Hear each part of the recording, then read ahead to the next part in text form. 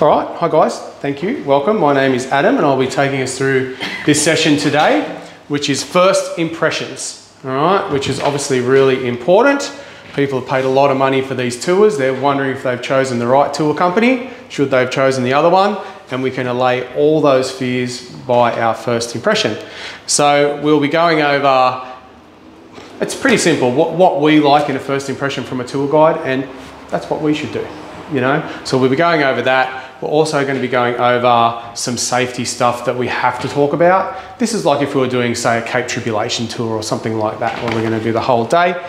And then we'll be having a go, getting in pairs and having a chat with each other and trying to make sure we remember these safety items that we've learnt today. Um, so just before we start, guys, if we don't mind having our phones on silent, that would be awesome. You've got some scrap paper there and pens to use. And just in case anything goes horribly wrong, uh, we're going to head down the stairs and out the front. It's kind of a little bit of a tight, small room, so just be careful when you're moving around not to bump over the camera or anything like that. And obviously, we'll stay away from all the electricity and the cords up here. All right, so as I say, leading tour groups, how to make a first impression, and the first one I've put here is a nice, clean bus.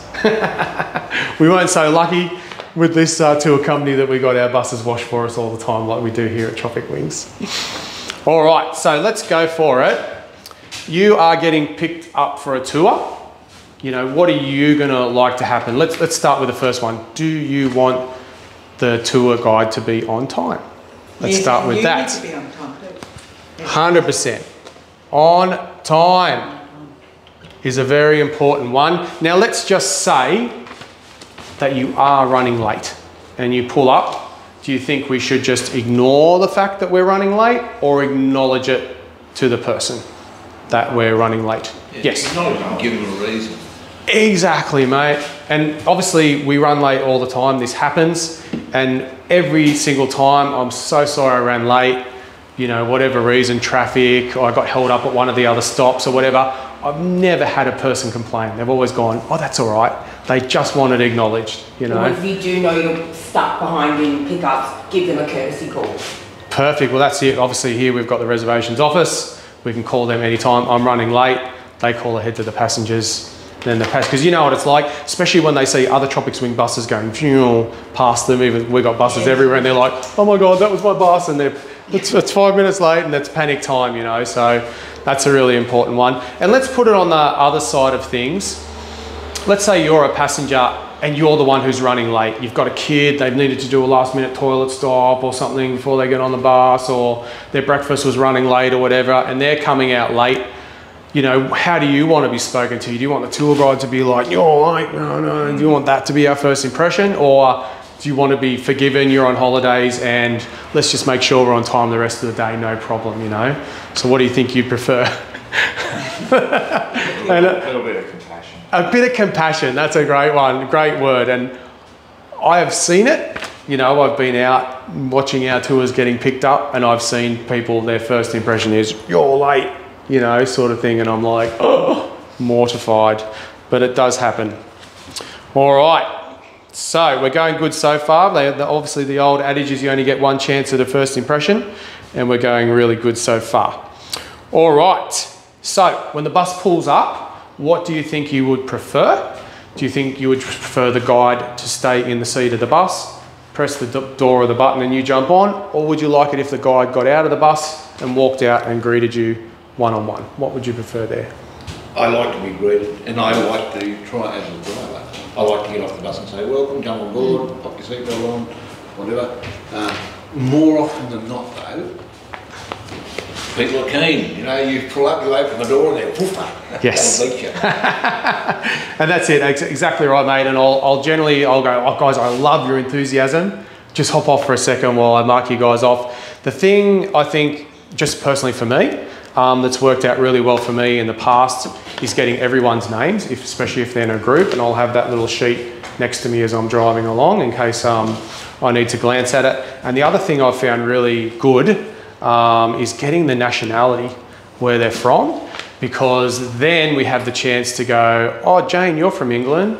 John's from England as well. you know, as they're getting on the bus, already they're going to go, oh, where are you from? In England, you know, blah, blah, blah. Oh, cool. They've met each other. Already you're getting that interaction kind of happening, you know. And the other thing is I've found, um, especially with the Cape Tribulation tours, as you know, Rob, um, it's really possible to weave their countries into your stories and make it much more interesting for them. You know, it's, it's amazing how many different countries are involved in Australia, getting in Australia's history. So yes, Steve, that is perfect. Thank you. Now, what about uh, on that note, when I'm saying I write their name down, do you care if the guide remembers your name or is it awesome if they do? Awesome. Yes, Yeah. I 100% agree. It's a really difficult thing to do. Um, as I say, that's why I have my little cheat sheet with me. And I know people who've even gone to the lengths of writing Jane Red Top or something like that. Some people even have a little. take it off. What buses? What buses are you driving, Linda? This sounds like a fun tour. so um, some people even go to the lengths of drawing a little map of the bus and going, "That's where Jane, who sits in what seat," and writing the names. You know, so pe- yes, I've seen that happen. Um, people love hearing their own names. Yes, they do. Big Yeah. They like talking about themselves too, but well, they do. Um, and and so we need to listen, but um, but you couldn't like just for a, a pick-up drop-off, you wouldn't. We're talking about full day tours. Yeah, right. Yeah, long tours, yes. Otherwise, you just got to at least be courteous. Like, I'll hey mate, so sorry, I've forgotten your name, or Totally. address them politely. Yeah, hundred percent. And um, what you say is right. Yeah, obviously we're chatting more about the full day tours today, but you bring up a great point, Linda. You know, I've seen so many times as well. Let's say, for example, someone will go to the tour guide. Oh, yeah, I was out snorkeling yesterday and I saw a turtle. And I see the tour guide going, Oh, yeah, I was out there last week and I saw ten. You know, and I'm like, whatever. This the correct answer to that is wow, you are so lucky. That's so amazing. Tell me about it. you know, so I've seen so many tour guides that need to one up their passengers, and people, as you say, Linda, they just want to talk about themselves and be heard. So that's a really great point. Now this is an easy one. When we're jumping off the bus, what do you all? You're getting greeted by tour guide. Do you want them to be welcoming or do you want them to be grumpy? You know, so they could have their dog could have died yesterday. They could be having horrible problems at work. They're running late. Maybe their bus had a problem this morning. Game faces on. You know, Uh, as uh, we always say, we're, we're the duck on the water. Up the top, we're cool as a cucumber. Underneath, the legs are going like crazy. So that's an easy one. Now, we're driving between pickups, let's say. Um, do you want the guide to be kind of having small talk, maybe letting you know, oh, you know, we've still got a few more pickups, I'll tell you about the day then? Or do you just want silence? What is kind Oh, a of bit of communication. bit of communication, all right? I agree with that one. Um, now, let's get to kids. Sometimes we've got to take kids on tour. Um, some of you guys have kids, some, some don't. But what would you like the tour guide to do? Would you like them to make an effort with your kids and make them feel special? Or just like, oh, annoying kids? Make them feel special because then um, it, I think you're going to get less problems down the track if you make them feel special. Yeah, 100% mate. Parents love you for this one. Like getting down to their level. Hey, what's your name, buddy? And I keep stickers in my bag. oh, like you would be the ultimate. I come out and I'm like, you stick oh, I have a roll of stickers. Well, Now- Snicker, I thought you said Snicker. No. No, no, ah, I have- Snickers. I have a roll of stickers. Do you? Yeah, or a stamp top of the wings or something. Give them a, yeah, get a whole lot of stickers with butterflies on Oh my god, this is an amazing idea. There you go. We're getting ideas off each other. I have, yeah, I have a roll of stickers. They got animals and they have sayings, I think it's a two-way street with kids. llamas and stuff. You, it, it's good to make the kid feel comfortable with you. If you later in the tour have to tell them something, you know, like, oh, you can't go in there or, or whatever, Mm. um, you're not intimidating if they're comfortable with it. But the two-way street is, you've got to let the parents know that they're still responsible for the actions of their child. Yes. You know, you're not a driver, babysitter, tour guide. I hate when they go, oh, the bus driver will tell you off. But as soon as you do that, it's suddenly like, don't you speak to my child like that, you know. I've had both. yes, yes, yes. and then him, yeah. I made 100% sense, and I've had that. You know, like I'm the type of guy who'll get the kid up the front and go, oh, mate, I'm going to need a bit of help with some stuff today. Do you reckon you can help me? You know, blah blah blah. And but yes, I have had that happen where the parents are like, oh, sweet, I don't have to do anything today. So that's a really really good point that you make. Sorry about the noise, folks. We are in a in a workshop here. Well, once I was on a bus and there was a kid making a big noise and um, creating habits. I started singing the wheels on the bus go around and you didn't think the whole bus started singing Oh. and the kid singing it. It was good. My, my one is the kid's being really good and I'm in the big bus, and they, especially if they're being interested in the driving and stuff, I go, oh, I'm having trouble opening my door. Would Yes, you like yes, to come a help me? And you sit on the big seat, Yeah. and the look on their face. I don't think what rough. kid doesn't love that. Yeah, as, Yeah. Long, as long as I have time, and I've had parents take photos and stuff. It's something that I would have killed. Or another kid. one is like when I was doing route services, um, you know, they have a bell and you get the kid to push the bell at the same time you open the door. Go, Yeah, yeah. Magic. All right, guys, we're nearly there.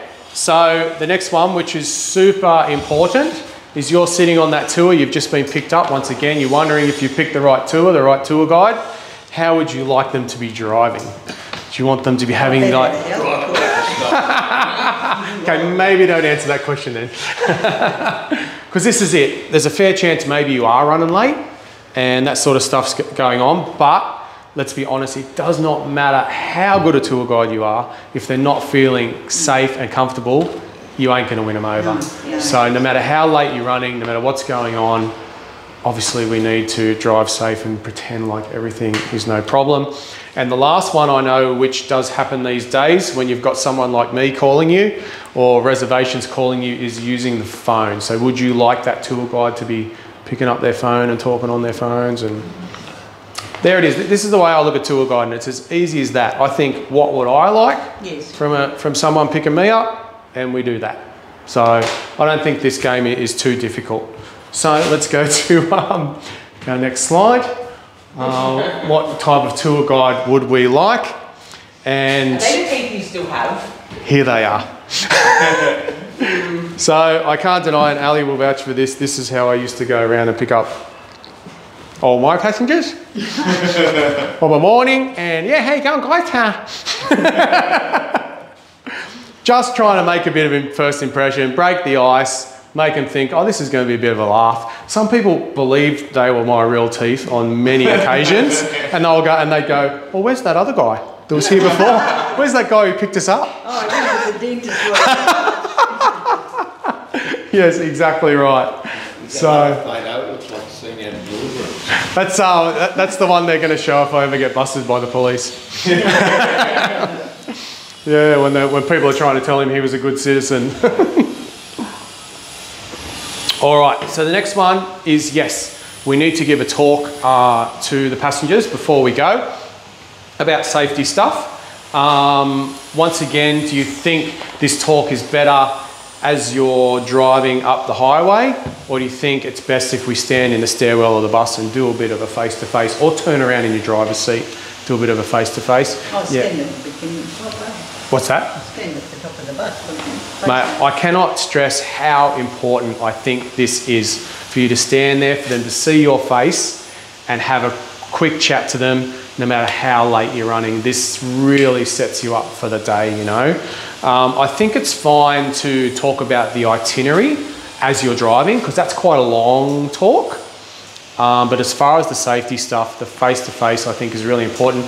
Now that I've mentioned itineraries, here's definitely one of my number one rules, and I've seen tour guides do this. Do not mention any times about your itinerary in the day. And I've seen so many guides go at 10:30 we'll be doing this, at 11 o'clock we'll be doing this. Next thing you start running behind time, and everyone thinks I'm missing out on stuff. Unless it's obviously like say Kuranda where it's a 3.30 train, you have Yes. to be there and you leave without you. Exactly right. If we've got a 3:30 crocodile cruise or something, yes, they, we can give them actual time. The only thing they really want to know is what time am I going to be back tonight? because they want to organise their dinner, maybe their Tinder dates messaging them or something, you know. So that's the important one. But apart from that, I never ever mention uh, timings of the itinerary. All right, so let's have a little go. What things do you think that we need to mention for our safety speech? Seatbelts. Seatbelts. Love it. What else? Remain seated whilst the bus is. Oh, yes, remain. Sorry, I'm a lefty. It's very hard for me to write on, Oh, you're a lefty. I on didn't know whiteboards. Remain seated. I love it. Are we talking about just for the bus, or are we talking about like say you're running a whole tour? This is just what we would say at the beginning of the day. It, there's no wrong answers. We can just go for it. What else are we thinking is important Probably to look um, if there is um, an emergency or something that goes wrong. Emergency. Yes. Maybe where the emergency exits are or something like that. Yep. Yeah, because I had a bus catch on fire. Buses catch on fire, yes. Anything else? Someone's feeling sick, Sick? I like it. Anything else? Think they might want to know? Oh, sick, yeah, that's good one. to follow your instructions if you ask to be on at certain times. to be there. Mm, I love that one.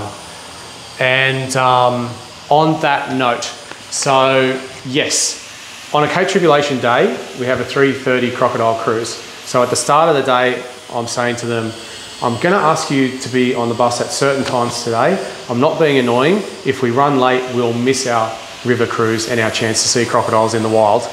So all of a sudden, there's a reason why they have to be on time. So that's uh, if you can give them a reason, then it's much better. All right, we're going well. Anything else, guys? Lunch arrangements. Yes, dietary requirements. You nailed it, Steve. That's, I'm sure that's exactly what you were going to say.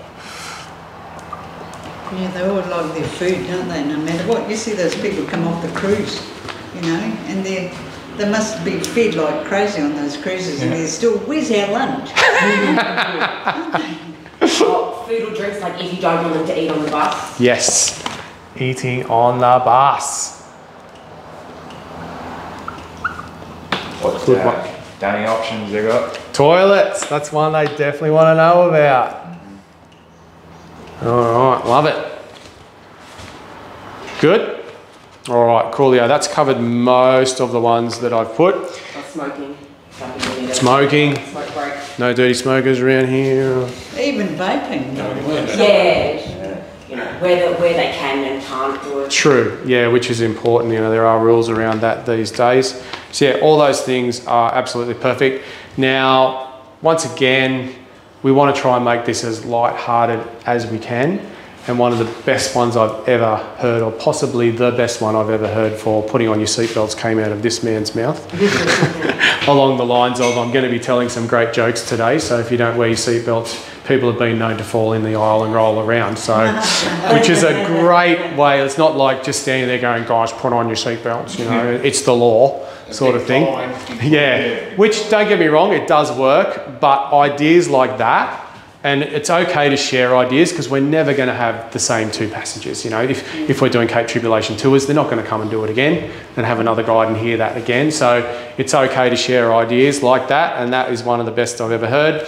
Uh, And also, too, like, so you don't fall out of your seat when they go around the corners yes, too fast. because that's the way you're going to be driving, Linda. Otherwise, I said Because about I'm late, times. remember, I'm late. Yes. And then I said, oh, you know, it could be about six hundred dollars, and we'd have to share it. So I'm sure you've got a better way to spend that on holidays. Yes, 100% right. Like you know, if you get a fine, say, oh, we have to pass it on to you. It's six hundred dollars. I'm sure you've got a better way to spend that on holidays.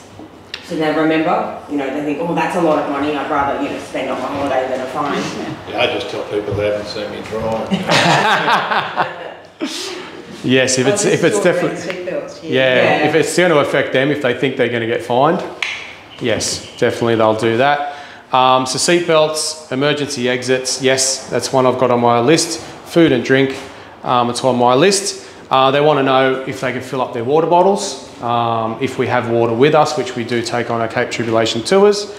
Um, another one is the air conditioning. Just no one will ever tell you if it's too cold or too hot, but let them know that it's okay to tell you if it's too cold or too. do tell you. Okay, you know, when you turn the bus off, the air conditioning goes off and it Yes. doesn't come back on a little bit. A couple of times I've forgotten to click it back on, and uh, I've had to, can you turn on the bloody air conditioner? Yeah. When you start seeing all the jackets come on, you're like, okay, it's a bit cold.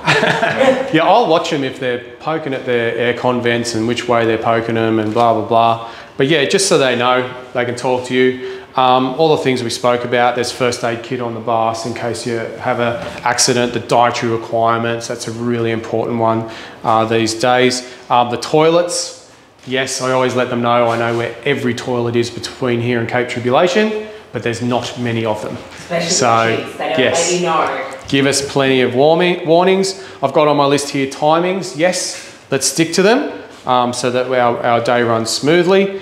And the only other ones I've got here, I always tell them um, that I'm also their personal photographer. I know it's difficult for them to get in photos together, so you should ask me.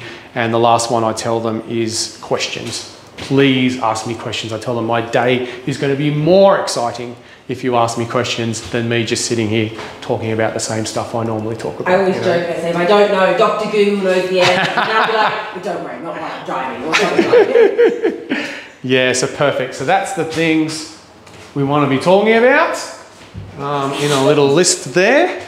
This is fro- this is actually from one of Ali's really um, exciting tours that she did. If you want So- them to sleep, you just put the heat on. Puts everyone to sleep. So we used to run tours out in Alice Springs where we watched every sunset, every sunrise. They hardly got, they were sleeping in swags under the stars. They crapped themselves, they hardly slept. And this was inside the bus pretty much the, the whole time. So, as we're saying, we want to try and make our chats exciting. Otherwise, we get that. All right, so we are coming up to the end of our first session. Are there any questions for now? All right. So I am going to stick you guys in pairs just to have a little go at a like a welcome speech. So I don't know if you want to write. You do have them on your little handouts here. Oh, okay. All there ready to go.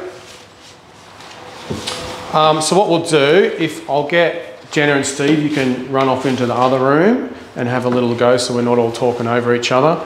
And Rob and Linda, if you don't mind staying here and having a little go. And that'll bring us up to the end of our first session. All right. Off you go then. You guys can stay here. Oh, so where we, where we going? You're staying right there, Linda. Don't move a muscle.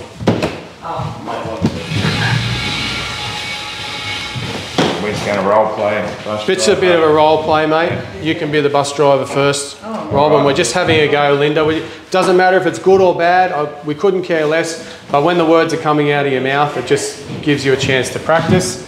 You've got your little ideas that you can look at right here of things you might want to talk about. But Rob's done this before. He's going to have a go first.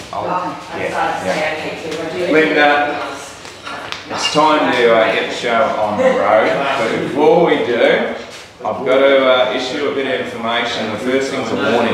Very well. Yeah. Um, the warning is I'm about to tell a joke. That's the warning, how- right? All my jokes come with warnings. It's true, not because they're rude.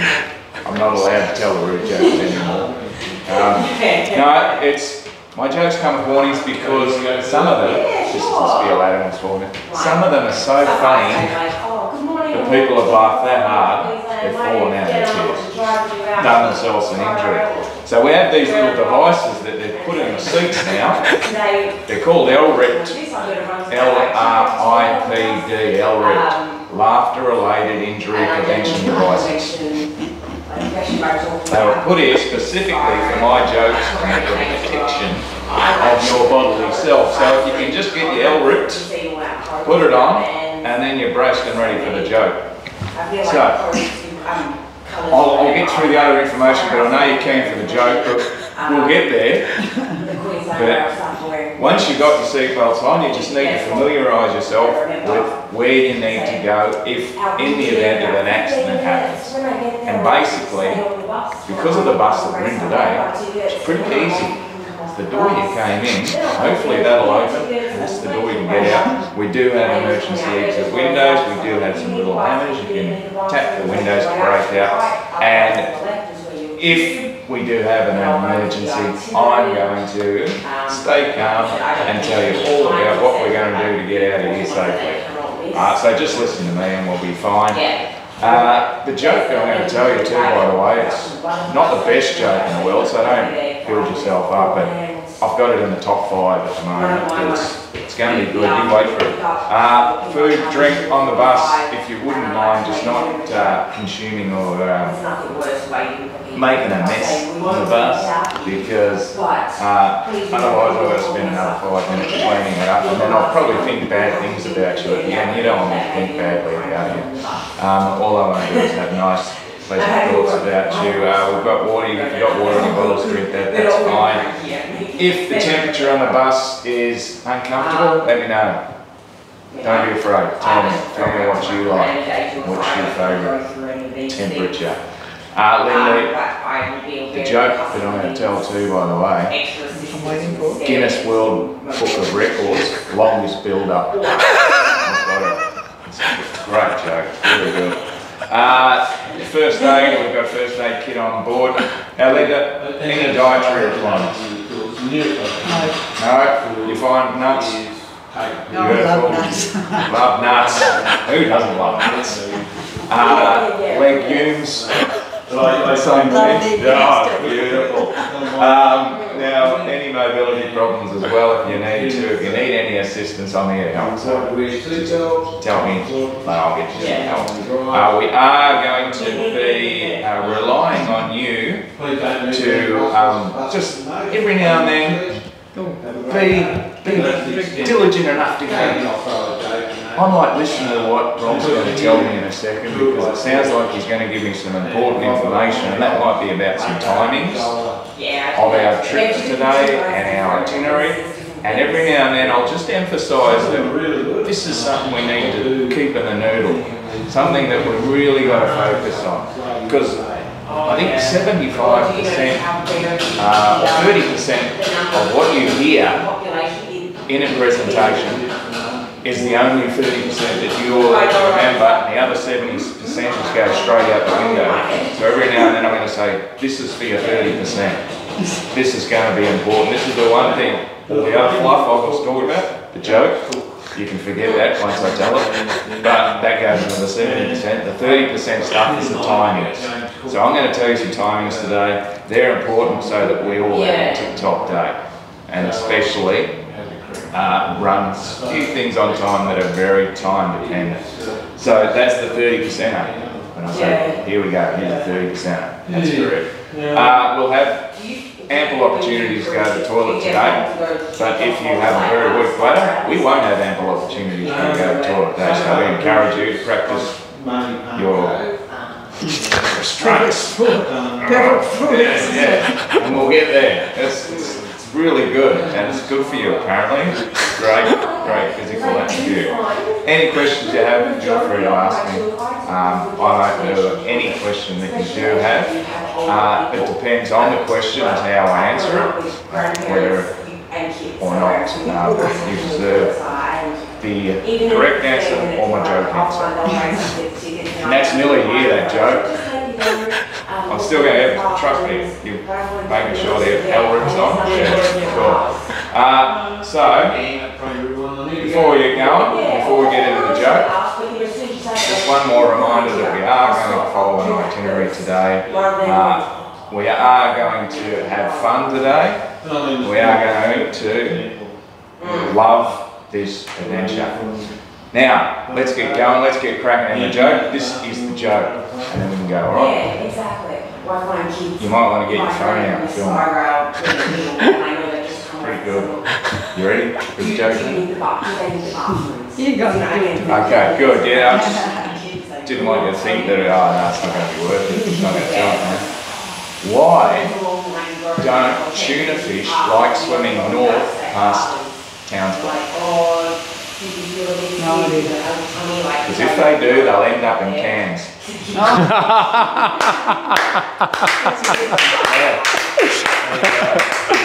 Oh, you're a beauty. Thanks so much, guys. Come back in. Well, I can't do that, but I'll. I will- All right, Linda, we'll get to you. We'll, uh, we're up to the end of this session. We'll get to your one, no problem afterwards. Um, not all of that because I, I don't go to Cape Trib or that, but people get that in Skyrail and all sorts of things, yes.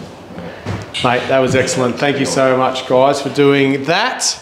Um, man, like that was beautiful, Rod. The way you like you're gonna listen because you're waiting for the joke at the end, and you just keep listening, keep listening because you want to hear the joke. That is so good. I love that. All right, so you guys have had your practice activity. So, in conclusion for this session, um, as I say, it's easy. What would you like in a tour guide? Just do that. All right, our safety speech, we need to cover it um, legally, but yes, if we can make it fun, you beauty.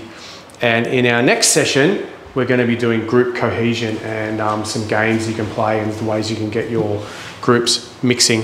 So that's all for this session, guys. Thank you so much. Thank you, Adam. Yeah. Thank you.